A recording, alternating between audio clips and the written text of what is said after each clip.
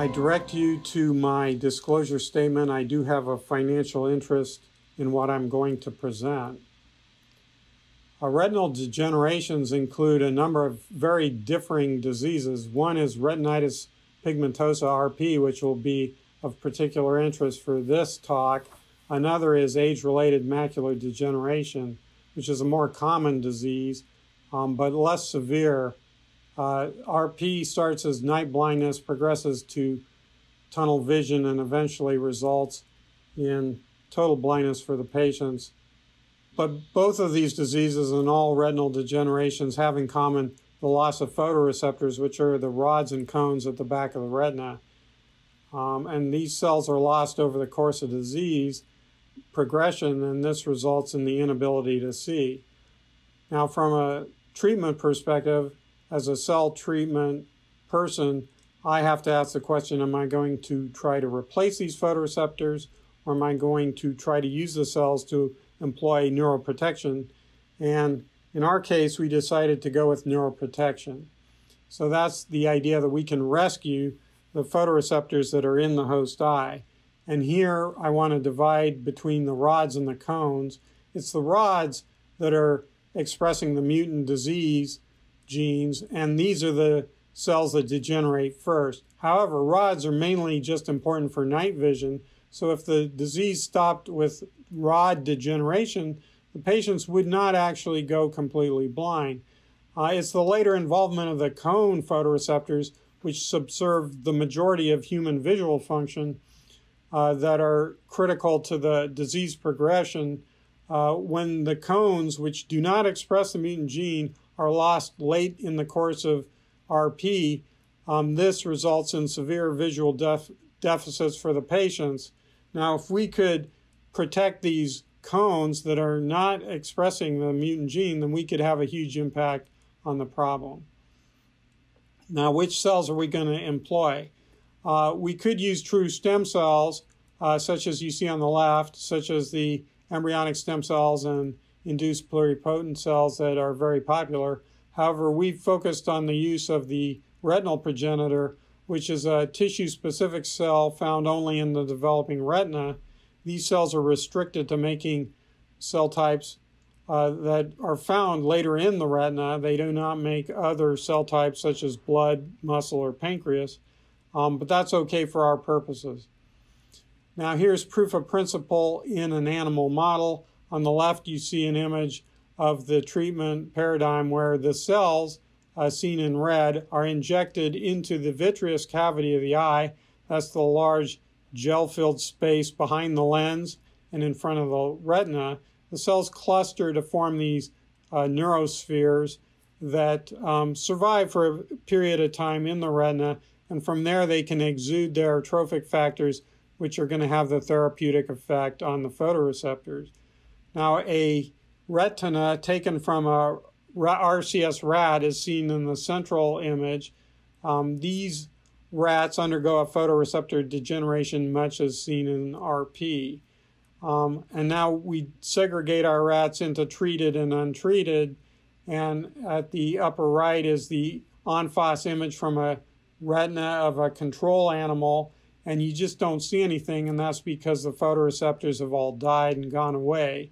Uh, whereas in the lower right, you see a lot of uh, red and green dots. These are profiles that correspond to uh, rods and middle wavelength cone photoreceptors, respectively. So, uh, by comparing the two, you can see that the treated eyes have uh, considerably more residual photoreceptors than do the untreated. So that's the evidence of a treatment effect. Uh, we back up this evidence with evidence of a functional improvement in these animals, and that's seen both through something called an optomotor response uh, in the upper image, as well as an electroretinogram seen in the lower image.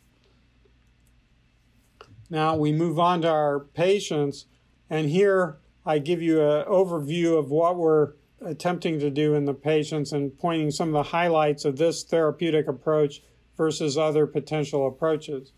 Now we're going to use these retinal progenitor cells. These are an allogeneic product. they can be taken from one unrelated donor and given to multiple recipients, as seen with these frozen vials here. The disease target is retinitis pigmentosa. The delivery is through intraocular injection, just as was seen in the rats, into the vitreous cavity. This can be performed in the office setting using topical numbing drops. And despite the fact that this is an allogeneic product, it can be given without immune suppression. That's the equivalent of getting a blood transfusion without the need to tissue type the blood. Uh, the mechanism of action here is neurotrophic as opposed to cell replacement as I previously described. Here's the setting of the initial clinical trial. This is when Kristen was getting treated. Uh, we enrolled our patients starting in June of 2015. Uh, the trial was completed by August of 2017, and all of the 28 patients in the initial trial completed that study. This product was well tolerated, and importantly, there were no immune issues. Uh, here's the visual output from these patients. Um, we've segregated the data in terms of the different doses and compared to the fellow eye. Uh, the point is the treated looked somewhat better and was particularly prominent for the highest dose, the 3 million dose. Uh, we had a benefit of nine letters on average in treated eyes over untreated eyes. Uh, that's quite a large response. Um, again, this was an open label study in small group of patients uh, but the FDA encouraged us to explore a higher dose. So we entered the people who had completed the first trial in an extension trial. And here you see Rosie. We followed these patients for a longer term, and these patients were allowed the option of being redosed in the fellow eye. Uh, 24 out of 28 of the patients were redosed. And again, despite being dosed in a second eye, uh, there were still no immune related issues uh, related to this treatment. Um, that allowed us to move into phase 2B. Uh, this is a much larger study uh, involving a total of 84 patients. They were divided into three different dose types 6 million cells, 3 million cells, and mock injection, which was the essentially uh, the equivalent of a, a placebo effect. Again, we were looking at visual acuity at 12 months, although we included some other endpoints. And uh, we completed the first aspect of this trial uh, in fall of last year, uh, although patients have crossed over into the treatment effect from the mock injection uh, following completion. Um, but looking at these initial data from the uh, tw- initial 12 month study, we see that there was again a very well tolerated product, good safety, um, consistent with what we saw in the first trial. Um, we also saw a prominent response in the highest dose, that being the 6 million dose. And uh, looked at more carefully, we see a nice relationship between the uh, proposed mechanism, mechanism of action, the retinal anatomy, and test performance across the different um, other endpoints.